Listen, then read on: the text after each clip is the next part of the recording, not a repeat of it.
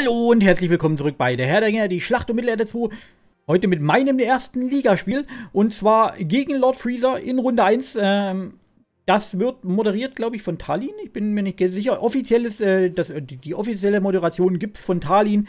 Allerdings ähm, ist es ja erlaubt, äh, deine eigenen Spiele auch aufzuladen. Die kommen nur nicht in die Playlist, die kommen in die, dieses hier kommt in die normale Playlist. Äh, allerdings heißt das ja nicht, dass ich es trotzdem zeigen kann. Das Problem ist, ich habe es nicht richtig aufgenommen. Es war halt äh, nur ein Schwarzbildschirm zu sehen und in der Aufregung habe ich einfach übersehen, dass ich, äh, dass ich falsch geschalten hatte, dass ich die falsche Szene aktiviert hatte. Aus diesem Grund machen wir das jetzt so. Äh, ich nehme das jetzt hier auf, ähm, gemeinsam mit euch, ähm, ohne Lord Freezer. Ähm, wir gucken es uns gemeinsam nochmal an. Mach's aber so, dass ich das komplett aus meiner Warte sehe ähm, und äh, halt quasi direkt auf mich schalte, äh, um äh, ja, zu vermeiden, von Lord Freezer irgendwas zu spoilern. Wenn ihr Lord Freezers Sicht mitsehen wollt, also wenn ihr sehen wollt, was Rose Freezer gebaut hat, wie er so weiter kam, dann guckt am besten in die Liga. Äh, da sollte das, äh, ich glaube, von Talin eben äh, in die Liga-Playlist, da sollte das von Talin äh, entsprechend äh, markierte Video drin sein. Äh, auch die Tabelle, die wird, ähm, obwohl die kann ich hinten ranschneiden, da, da, da, weiß ich ziemlich genau, wer, wo wir sind, weil die anderen beiden Spiele vorher hatte ich auch mitmoderiert, insofern sollte das passen. Gut, äh, lange Rede, kurzer Sinn. Ich gehe auf Laden äh, und äh, wir schauen uns das direkt mal an. Und wie gesagt, ich schalte direkt auf meine einzige Sicht und die werden wir auch die einzige beibehalten.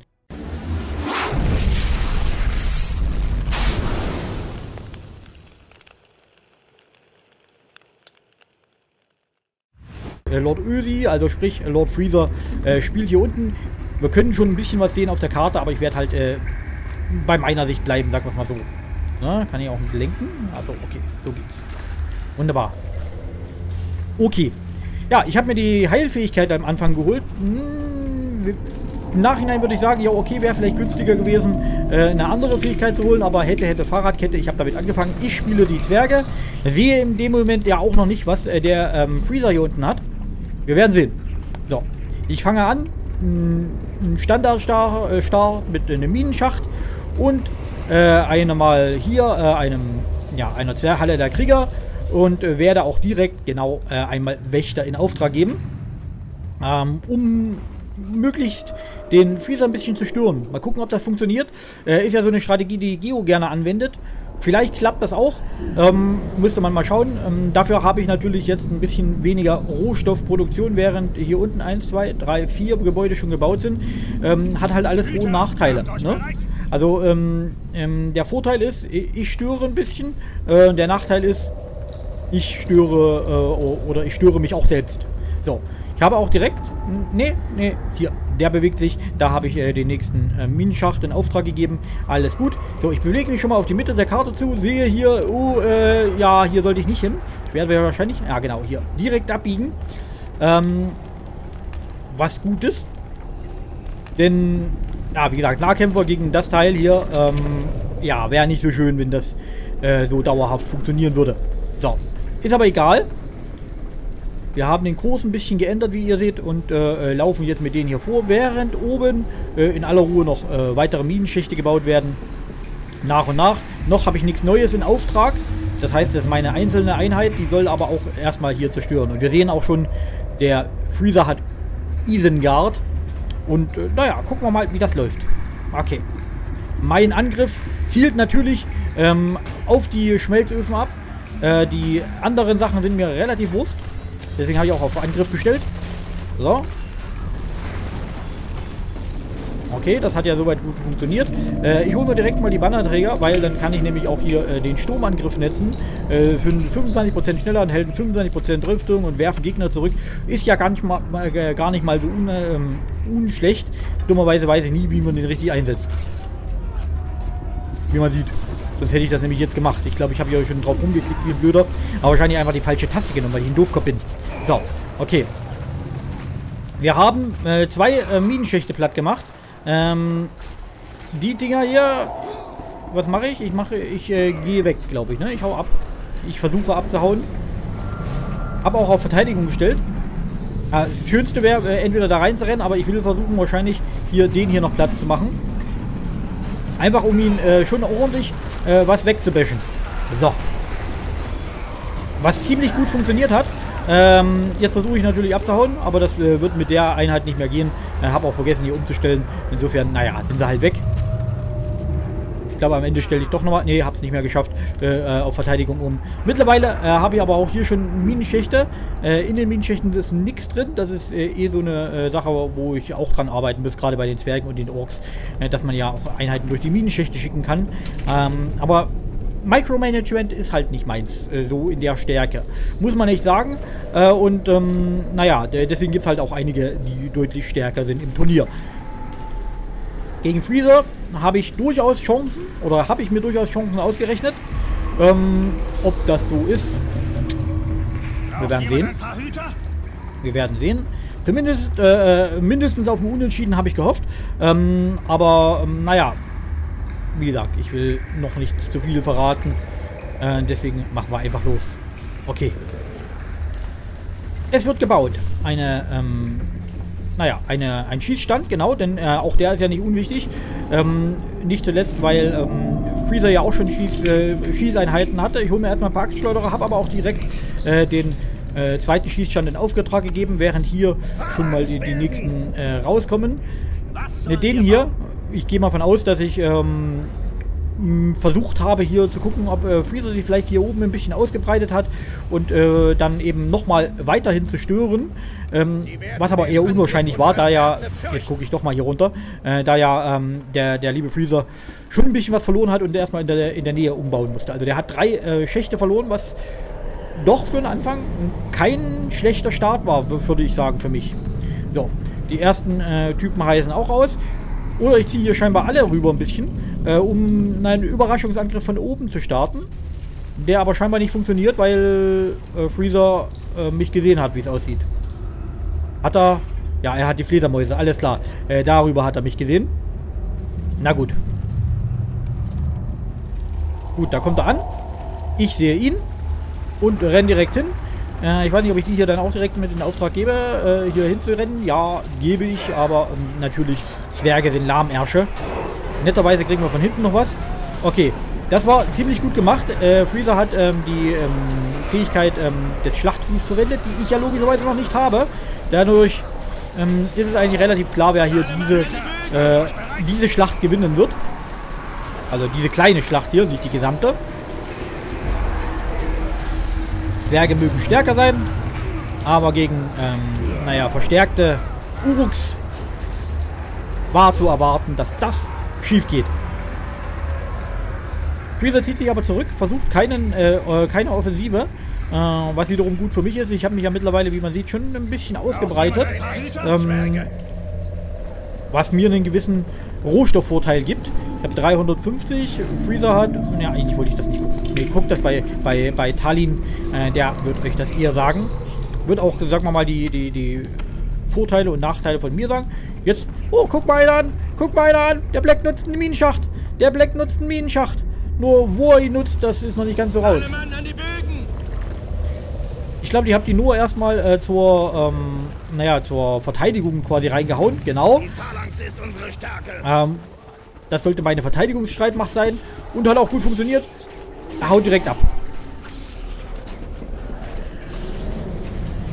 Ja, aber auch schlau, dass er mich hier versucht, ein bisschen durchzuziehen. Was so auch ein bisschen funktioniert hat, scheinbar. So, na gut. Hüter, macht euch bereit. Okay. In der Zwischenzeit baue ich hier wieder auf. Ja, Rohstoffvorteil.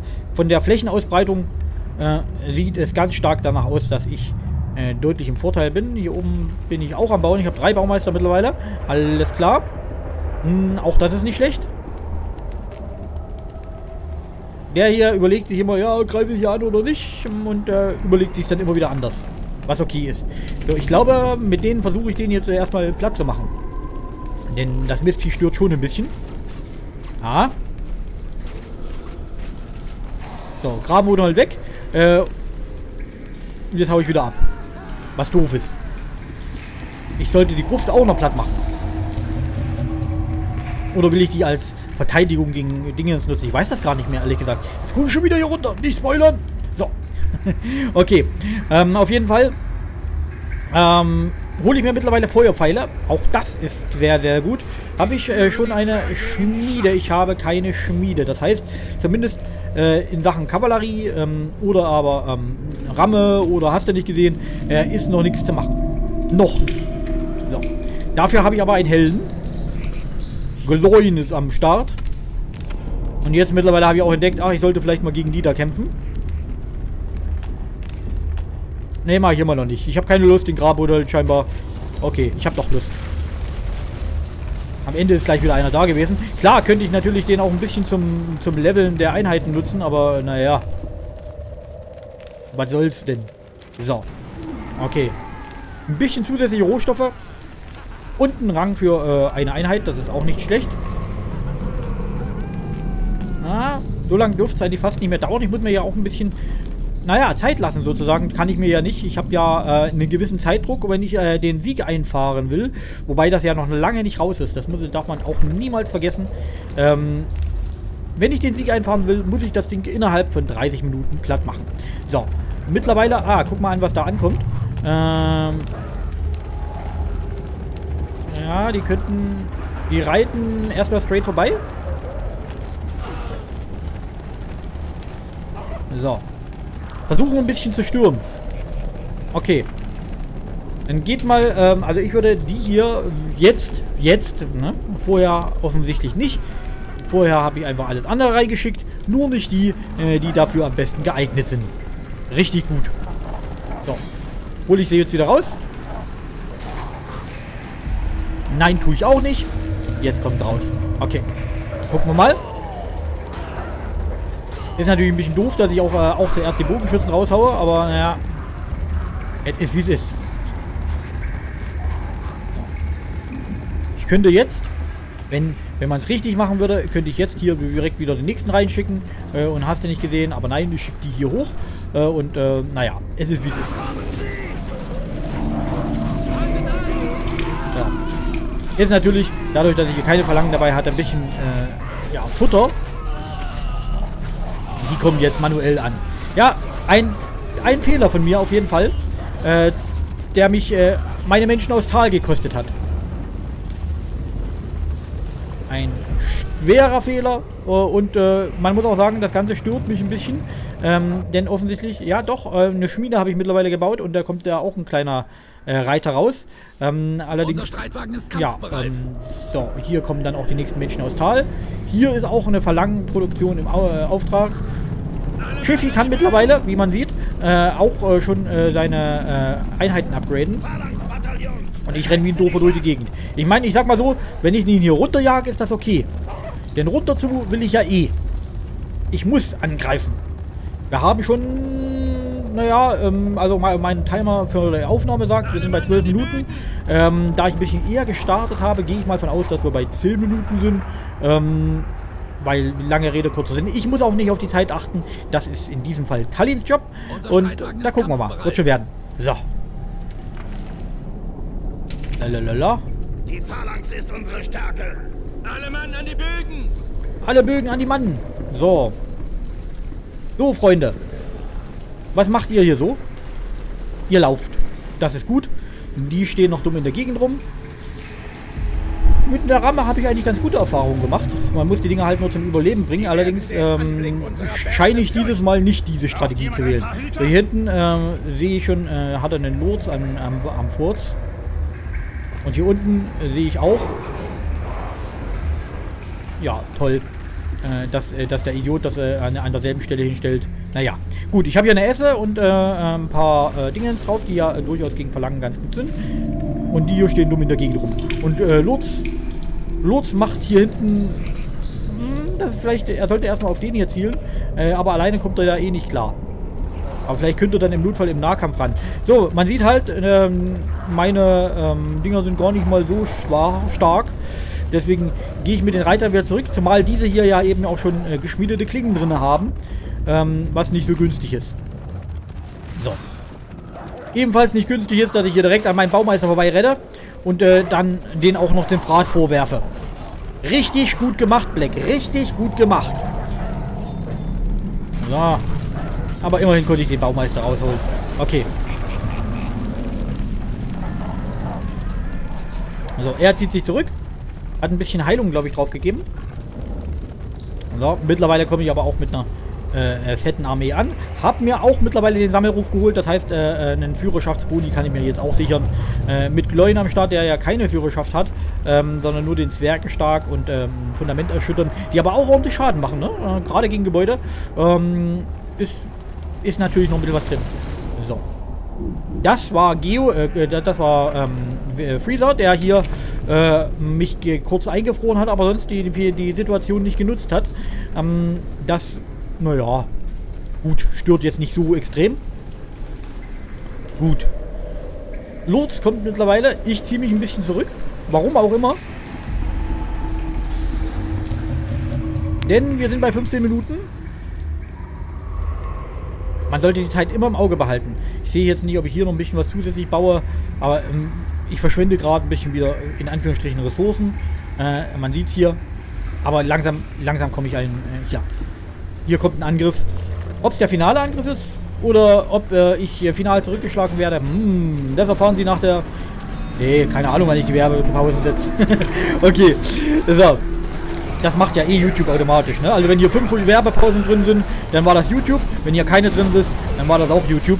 Ähm, da kann ich nichts für. Ich erlaube lediglich, dass im, im Video äh, äh, Pausen drin sein sollten, könnten, sollten. Okay, er hat hier halt den, den Turm, mit dem er auch ein bisschen Schaden gemacht hat. Allerdings halt, äh, naja, es war jetzt nicht so, so riesig, dass er, dass er ähm, da großartig äh, drum kommt. Ich gehe erstmal auf die Schmiede. Denn logischerweise möchte ich nicht, dass er noch weitere äh, Einheiten ausbreitet. Es ist natürlich ein bisschen ungünstig, wenn ich hier die da einfach in Ruhe lasse. Aber man hat es ja gehört, der Streitwagen ist kampfbereit, das heißt, es wird auf jeden Fall nachproduziert. So, wir bleiben mal hier. Und hauen schon wieder ab. Also, finaler Angriff am Arsch. So, so weit, so gut. Schade. Ähm, Wäre schön gewesen, wenn wir das noch platt kriegen. Mittlerweile sieht es auch so aus, ich würde, jawohl, äh, ihn verlieren hier. Hab auch nicht rechtzeitig wahrscheinlich äh, hinschauen können äh, zum Heilen. Eine Ramme haben wir geholt. Okay, eine Ramme Bogenschützen. Ich hätte viel eher nachproduzieren müssen. Jetzt äh, sind sie hier in, äh, in Reihe drin. Natürlich könnte ich auch ähm, mittlerweile, versuche ich das auch des Öfteren, einfach noch ein Gebäude daneben zu setzen. Aber wie gesagt, meine Spielweise war ja eh immer die, ja, ich will meine Einheiten nicht verlieren, deswegen bin ich so gut oder so schlecht auch bei den, bei den bösen Einheiten. Hier oben habe ich mal einen Butrum mit hingesetzt. Einfach um zum Verteidigen, zum Fall, dass er doch mal äh, wieder angeschissen kommt. Mit, mit denen hier. So. Hm, durch die Fledis könnt ihr das vielleicht sehen, weiß ich gar nicht. Ist egal. Wir gehen auf jeden Fall hier so langsam vor. Hier hinten müsste dann theoretisch ja auch noch so ein Teil sein. Das könnte ich mir noch holen können. Aber das war nicht im Weg. Insofern, warum sollte ich? So. So, okay. Hier hat er den entdeckt.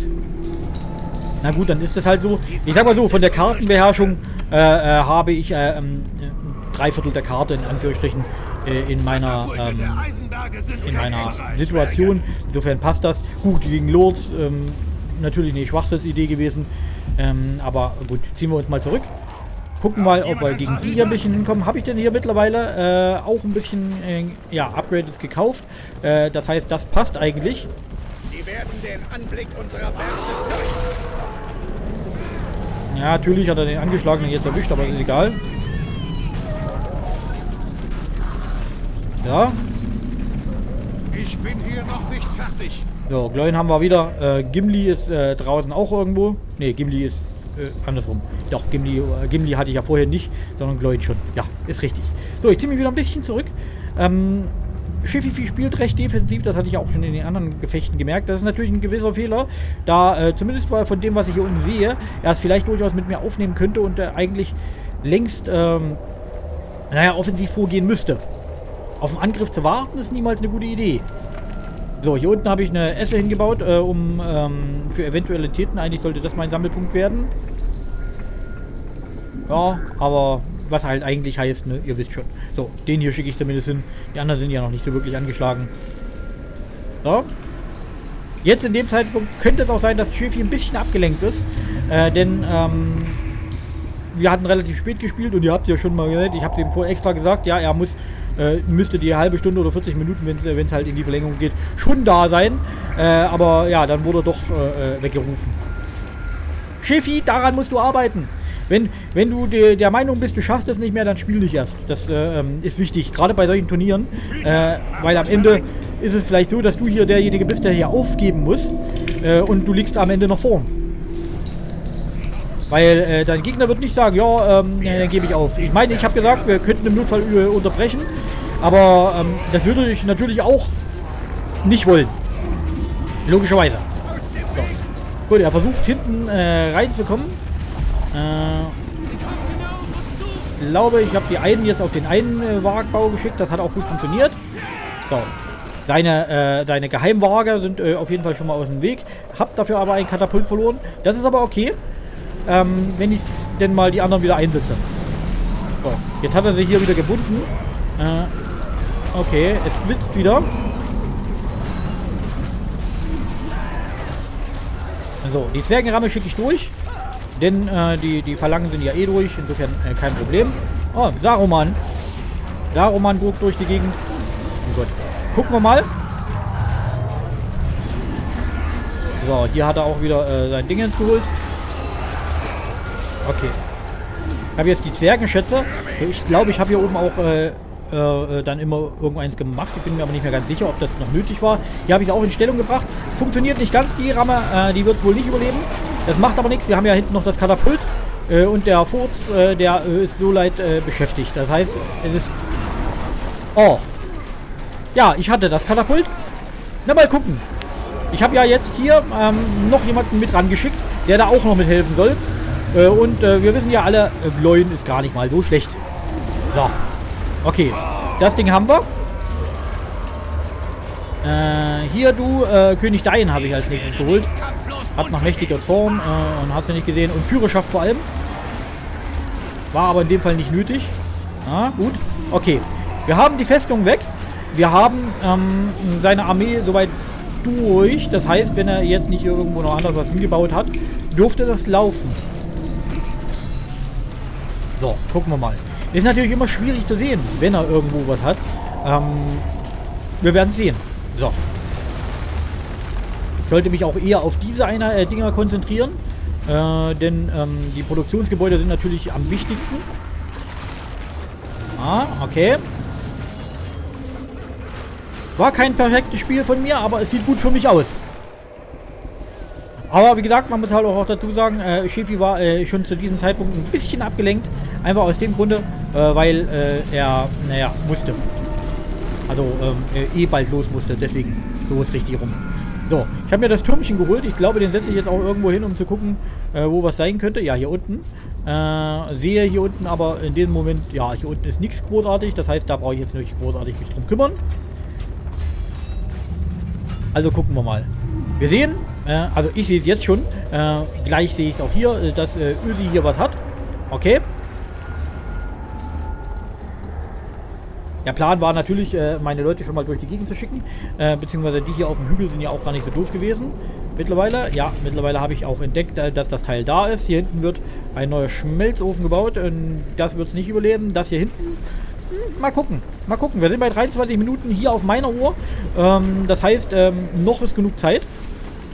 Allerdings, wir wissen es, Zwerge sind langsam.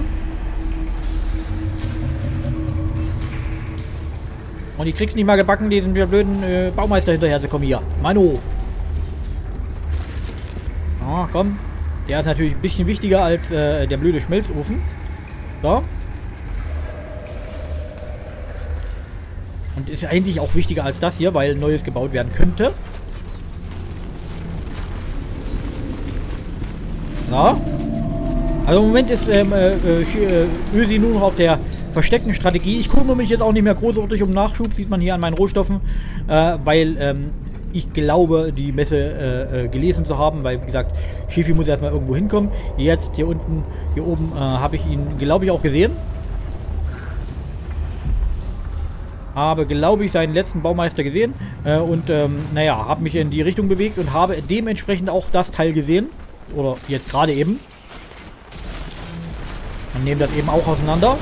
Das reicht natürlich noch nicht, da der hier oben äh, angefangen hat, äh, eine Wagbau zu bauen. Allerdings hat er den direkt, entweder hat er äh, den Wagbau abgebrochen, das ist natürlich ein Fehler, da er nichts mehr anderes hatte, äh, äh war es zu Ende. Oder er hat direkt aufgegeben, äh, eben aus Zeitgründen. Ja, gut. Ähm, ich weiß nicht genau, wie Italien wertet, aber ich gehe ganz schwer von aus, dass ich hier meine ersten drei Punkte, meinen ersten Sieg im Turnier eingefahren habe. Und äh, ja, wie gesagt, schaut in die Turnier-Playlist, die ist hier in der Endcard auch nochmal verlinkt. Äh, und ähm, da findet ihr alle Videos auf jeden Fall, nicht nur die von mir, sondern auch äh, die von ähm, ja, äh, von den anderen Moderatoren äh, in der entsprechenden Reihenfolge. Und, ähm, naja, guckt rein, lasst einen Daumen nach oben da, wenn es euch gefallen hat. Auch bei den anderen Videos, ne? Auch bei Talin, Shefi und äh, Geo. Und ansonsten, hier habe ich, glaube ich, die Liga-Playlist nochmal eingeblendet. Das kann ich bei zukünftigen Spielen nicht machen, äh, weil ich da ja dann äh, in dem Moment, wo ich das hier sage, äh, vor allem wenn ich die ähm, anders als dieses hier äh, gegen Power Kartoffel, äh, die werden nochmal so moderiert und die anderen werde ich versuchen wieder live aufzunehmen.